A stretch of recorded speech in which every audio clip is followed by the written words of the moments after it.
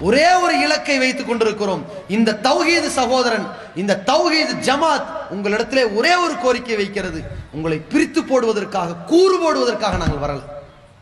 இன்றைக்கு இந்த சமுதாயத்திலே முப்பது ஆண்டுகளுக்கு முன்னால் ஷாஃபி என்றும் ஹனஃபி என்றும் மாலிகி என்றும் ஹம்பளி என்றும் தபிலிக் என்றும் தரிகா என்றும் மேலக்கட்சி என்றும் கீழக்கட்சி என்றும் வடக்கு தெரு என்றும் தெற்கு தெரு என்றும் பிரிந்து கொண்டிருந்த கூட்டத்தை ஏகத்துவம் என்கிற ஒரே பயணத்திலே இணைத்து இன்றைக்கு சகல பாதுகாப்போது மிகப்பெரிய தைரியத்தோடு சுயமரியாதையோடு சத்திய பிரச்சாரத்தில் பயணித்துக் கொண்டிருக்கிறோமே அப்படிப்பட்ட ஒரு நற்பணிக்காக உங்களை அழைக்கிறோமே தவிர எங்களுடைய சுயலாபத்திற்காக கூப்பிடுகிறோம்?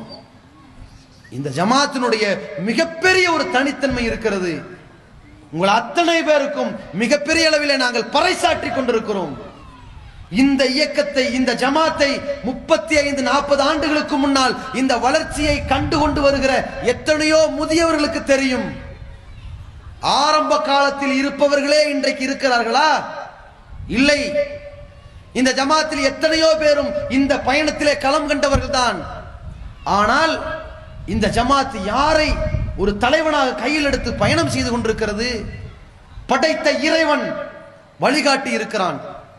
நமக்கு ரசூலுல்லாய் சல்லா அலைஹி அழகான ஒரு வழிகாட்டுதலை கொடுத்திருக்கிறார்கள். இந்த சத்திய கொள்கை எங்களுக்கு தலைவனாக இருக்கிறது. இந்த தௌஹீத் எங்களுக்கு தலைவனாக இருக்கிறது. இந்த தௌஹீதை அடித்தளமாக கொண்டு நாங்கள் பயணம் செய்து கொண்டு வருகிறோம். இந்த பயணத்தில் யாராவது சருகினால் யாராவது தவறிழைப்பார்களே ஆனால் அவன் எப்படிப்பட்ட பணக்காரனாக இருந்தாலும் சரி எப்படிப்பட்ட ஏழையாக இருந்தாலும் சரி ஏழைக்கு தண்டனை வழங்கி விடலாம். பணக்காரனுக்கு வழங்குறது கஷ்டம். ஒரு ஜமாத்திலே ஒரு ஊரிலே ஒரு பிரஜை இருக்கிறான். அவனுக்கு நடவடிக்கை எடுத்து விடுவது ஈஸி இலகுவானது ஒரு முத்தவள்ளியை ஊர் முழுக்க சொத்துக்களை வளைச்சு போட்டிருப்பவரை அங்கிருந்து தூக்குவது ரொம்ப கடினமானது. ஆனால் இந்த ஜமாத் பல லட்சம் தொண்டர்களை கொண்டு பயணம் செய்து கொண்டிருக்கிற ஒரு இயக்கம். அல்லாஹ்வின் தூதர் அவர்கள் சொன்னார்கள் ஒரு நேசம் ஒரு விருப்பம் சத்தியத்திற்காக இருக்க வேண்டும். அந்த சத்தியத்தின் வெளிப்பாடாக சொன்னார்கள் ஃபாத்திமா இருக்கிறாரே பாதுகத்து மின்னி என் ஈரக்குலையின் துண்டு என்றார்கள். என் இருதய துண்டில் ஒரு பகுதி ஃபாத்திமா என்றார்கள்.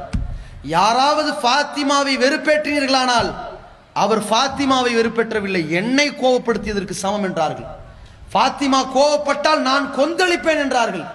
அப்படிப்பட்ட ரசூலுல்லாய் சல்லா அலிஸ்லம் இன்னொரு கட்டத்திலே சொன்னார்கள் வலவு அன்ன ஃபாத்திமத்த பின்து முகம்மது சரிகத் முகம்மதுடைய மகள் இந்த ஈரக்குலை துண்டு ஃபாத்திமா திருடினாலும் கூட கத்தவுத்தியதாக கையை துண்டெரித்து விடுவேன் கட் பண்ணிட்டு போய்கிட்டே இருவேன்னார்களே. அப்படிப்பட்ட ஒரு நீதிமான் நீதிமிக்க நேர்கொண்ட பார்வையோடு இந்த சமுதாயத்தை ஒரு சாம்ராஜ்யத்தை சத்திய பயணத்தோடு கொண்டு சென்றார்களே அதே பயணத்திலே இந்த ஜமாத் களம் கண்டு கொண்டிருக்கிறது. இந்த ஜமாத்திலே நீங்கள் எத்தனையோ தலைவர்களை பார்ப்பீர்கள். இருப்பார்கள். அவர்கள் ஒரு கருவி. செல்வார்கள். நமக்கு இருக்கிற அடித்தளம் ஒரு வாகனத்தினுடைய பிரேக். எத்தனை துன்பங்களில் இருந்தும் நம்மை காப்பாற்றுகிற திடீர் என்று வருகிற ஒரு லகான் ஒரு கடிவாளம் இந்த தௌஹீத் அந்த தௌஹீது வழியிலே நாங்கள் பயணம் செய்து கொண்டிருக்கிறோம். அந்த பயணத்திலே நீங்கள் எங்களோடு என்ன மோதல் போக்கை கடைபிடித்தாலும் எதிர்கொண்டு நிற்போம். குரான் சுண்ணாவை பற்றி கேட்கிறீர்களா? பதில் சொல்வோம். இவ்வளவு பேசுறிய உன் ஆளு வரதட்சணை வாங்கிட்டானே. இந்த ஆளுக்கா வேண்டிய இந்த ஜமாத்தில் வரதட்சணை வாங்கினா அவன் இந்த ஆளே தௌஹீத்வாதியே கிடையாதுங்க போங்க அவனுக்கெல்லாம் நாங்கள் அத்தாரிட்டி சொல்ல முடியாது. சரி இவ்வளவு தீமையை எதிர்த்து பேசுறிய. உன் ஆளே தப்பு செய்யறானே தப்பு செய்யற ஆளை பின்பற்றி வராத. தௌஹீத பின்பற்றி வா. தௌஹீதுல குறை இருக்கிறதா? நாங்க சொல்ற குரான் சுண்ணாவில் குறை இருக்குதா? நாங்க வைக்கிற வாதத்துல குறை இருக்குதா? எடுத்து வைக்கிற ஆதாரத்துல குற்றம் இருக்கிறதா? சொல்லிக் கொண்டிருக்கக்கூடிய எங்களுடைய பயணத்துல நாங்கள் வைக்கிற கொள்கையில் சருகி போனோமா? சருகல நிக்கிறோம்ல? நீடிக்கிறோம்ல? இந்த கொள்கையை மட்டும் பாரு. முப்பத்தைந்து ஆண்டுகளுக்கு முன்னால் எதே லாயிலா இல்லல்லா முகமது சுல்லாவை சொன்னார்களோ? இருபது ஆண்டுகளுக்கு முன்னாடி எதை சொன்னார்களோ? இன்றைக்கு எதை சொல்கிறார்களோ? அதனால் இந்த கொள்கையிலே ஒரு சமுதாயம் லட்சக்கணக்கிலே இந்த தொண்டர்கள் இணைந்து இருக்கிறார்களே அப்படிப்பட்ட தூய்மையான கொள்கைக்கு உங்களை அழைக்கிறோம். எந்த தலைவன் பின்னாலும் போயிடாதீங்க யாரையும் முன்னோடியா எடுத்து போகாதீர்கள். எந்த இமாம்கள் பெரியார்கள் என்ற பெயரால் வழிகட்டு விடாதீர்கள். நாளை மறுமையிலே இந்த கொள்கையை பின்பற்றி வந்தால் சொர்க்கம்.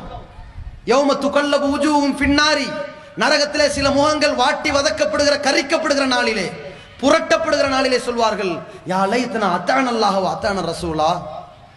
அல்லாவுக்கும் அவன் தூதருக்கும் கட்டுப்பட்டு கொள்கையை பின்பற்றி இருக்க கூடாதா? கேட்பார்கள். இன்னா அத்தானா சா அதத்தனாவா குபரானா.